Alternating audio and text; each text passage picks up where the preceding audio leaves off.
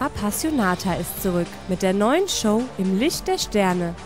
Fesselnde Stunts sowie einmalige Freiheitsdressuren nehmen Sie in über 30 europäischen Städten mit auf eine traumhafte Reise. Maike Arnason, Chefin des Teams Island, weiß, warum diese Show so einzigartig ist. Also die Appassionata ist eine Familienunterhaltungsshow mit Pferden, Tänzern, toller Musik, allem drum und dran, was man eigentlich braucht, um einen tollen, äh, um tolle zwei Stunden zu verleben.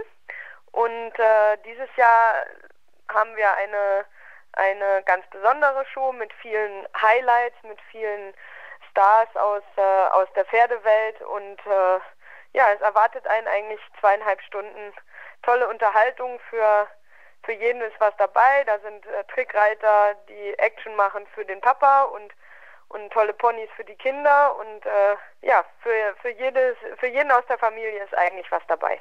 Über 40 Pferde können Sie in den zwei Stunden bewundern, darunter Friesen- oder Shetland-Ponys. Die Islandpferde von Maike Arnason stechen hierbei besonders hervor durch ihre ganz spezielle Gangart. Jedes normale Pferd geht halt Trab, Schritt und Galopp und die Isländer haben halt noch ein bis zwei Gangarten mehr. Das ist einmal der Tölt und äh, der Rennpass.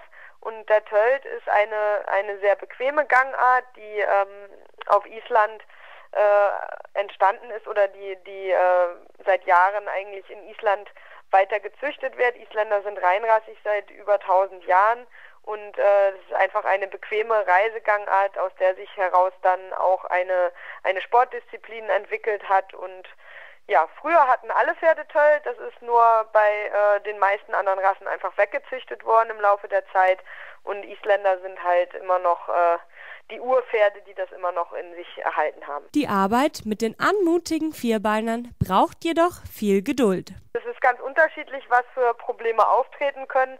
Die Pferde sind, äh, sind natürlich alle in ihren Grunddisziplinen schon sehr weit ausgebildet und müssen einfach ähm, diese Grund, äh, Grundlagen natürlich aus dem FF beherrschen. Ähm, dann gibt es, kommen natürlich andere Komponenten dazu, wie Musik und Licht und Spezialeffekte wie Nebel. Äh, die Islandpferde laufen zum Beispiel mit Wunderkerzen an den Beinen und da gehört dann einfach Training dazu und die Pferde mit, äh, mit viel Geduld und, und liebevoll daran zu führen, dass sie halt äh, dem Reiter vertrauen und keine Angst vor diesen ungewohnten und äh, nicht ganz alltäglichen Dingen haben.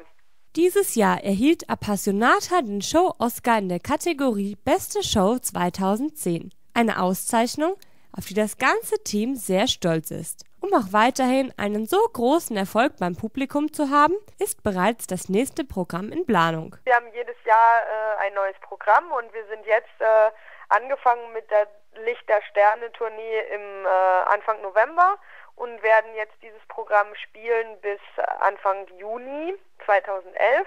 Und äh, die Entstehung der, der nächsten Appassionata, Appassionata 9, ist schon in vollem Gange. Die Show wird heißen gemeinsam bis ans Ende der Welt und auch da sind schon äh, ja, die, die ganzen Ideen werden jetzt schon gesammelt, es wird schon äh, fleißig Musik komponiert, es werden sich neue Bilder ausgedacht. Also es ist wirklich äh, schon mitten im Gange, damit auch nächstes Jahr äh, die Appassionata Tour weiterlaufen kann. Wenn Sie diese mitreißende Show live erleben möchten, haben Sie vom 25. bis 27. Februar in der Festhalle Frankfurt Gelegenheit dazu. Vielleicht wäre dies ja auch das passende Weihnachtsgeschenk, mit dem Sie Ihre Familie überraschen. Nathalie Leinekugel für Radio Fortuna.